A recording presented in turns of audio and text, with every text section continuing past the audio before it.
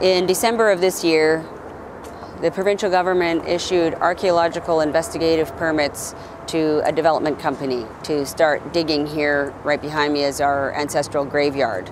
So graveyards uh, before colonial times, we didn't actually have headstones and coffins and such like that. We put our people right in the ground. So that's always been known to us. That's been handed down in our oral history. Uh, my great grandfather, James Point, used to live in this area. He lived to be 100 years old.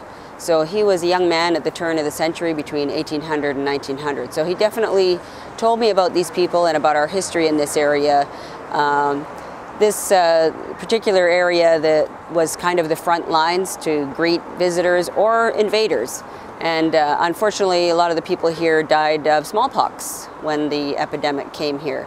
So um, it's common knowledge to the country. It's a, declared a National Historic Site in 1933 because there's artifacts here dating back thousands of years that were uncovered by archaeologists in the early 1900s, and of course our burials once again. So we want to protect this site.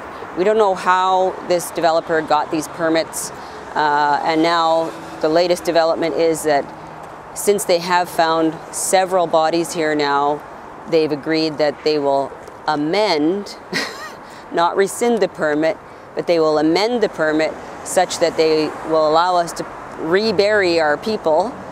And, uh, and then they've said they just won't dig in five meters around where they found those bodies. So that's not sufficient to us. Um, they want to still develop this site. So what we've done is we've offered them a land swap. We have another piece of land coming to us from the provincial government, which will either be uh, given to us in land or cash. So it's somewhere in the neighborhood of $5 million.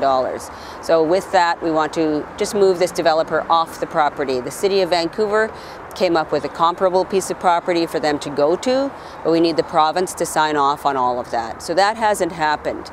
And we really were not getting much attention from the province. We tried several protests. Of course, we had a large one marching down to this site 39 days ago. And uh, we also uh, had a protest in front of the Premier's office, we had a protest in Robson Square, we had a protest in front of the graveyard at Mountain View Cemetery so that people would get the idea of what it feels like.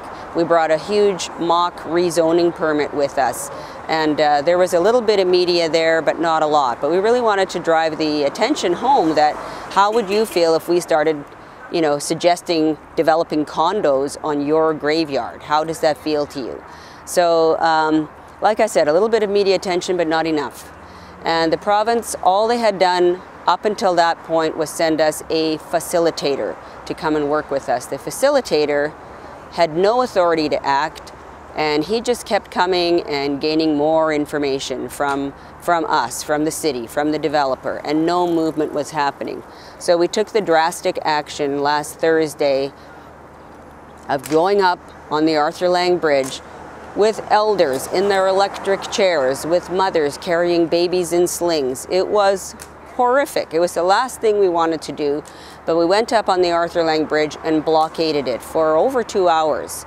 So stopping the traveling public from getting to the international airport and stopping people from getting downtown to work. And uh, that got the government's attention. Primarily it got the media's attention, of course it got the commuters' attention, and so I'm very sure that there were many important people on that bridge trying to either get to their flights or downtown, and I'm sure the government's phone was ringing off the hook that day. So that's when they started working with us in earnest.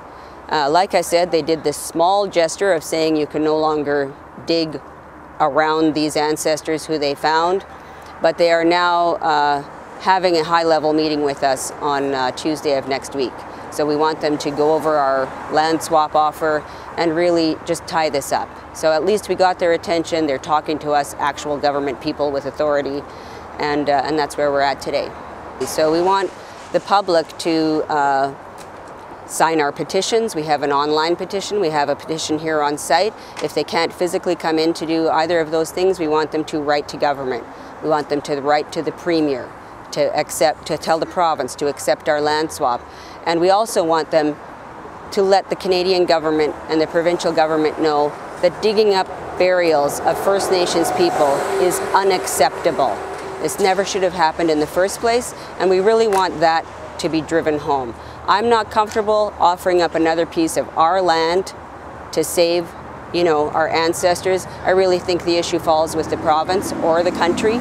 So we want people to write to their their MLAs, their government leaders to tell them to stop doing this. Well, I think what I want to add is that First Nations people want the same human rights that all other Canadians have because this doesn't happen to other Canadians.